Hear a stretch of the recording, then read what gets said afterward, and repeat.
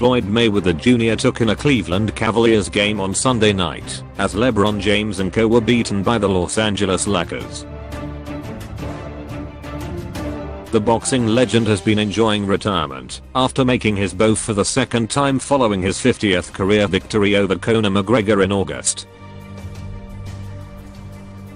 Mayweather, who turned 41 last month, traveled to the LA Staples Center via his very own private jet, a multi-million pound birthday present he gifted to himself.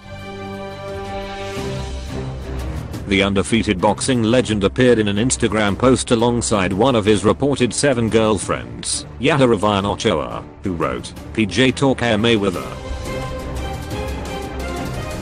Unsurprisingly, Mayweather boasted courtside seats, sat alongside actor Jack Nicholson as the pair watched the Lakers run out 127 to 113 winners.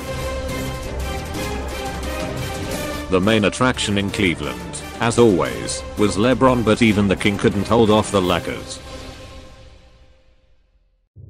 Scoring 24 points and making 7 assists during his 31 minutes on court, James put on a show for money as he watched on from his seat.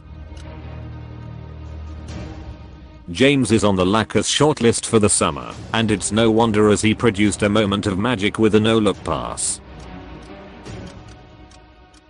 The NBA star pretended to pass the ball to Kyle Korver on his left which led to two opposition defenders being fooled into James' trickery as he showed his composure to flick the ball over to Ante Zizic who completed the play.